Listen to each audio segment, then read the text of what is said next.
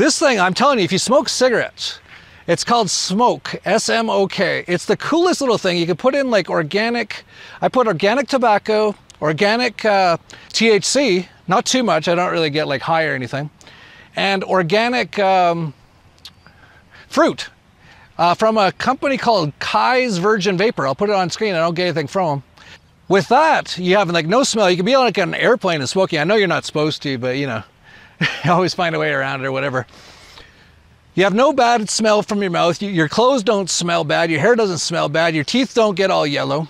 So these are the benefits of this. And what I've been doing is going down every few months in the amount of nicotine in this. So I started with like, I think it's 24 milligrams or something. Then I went to 12. I'm currently on six, but I just ordered three.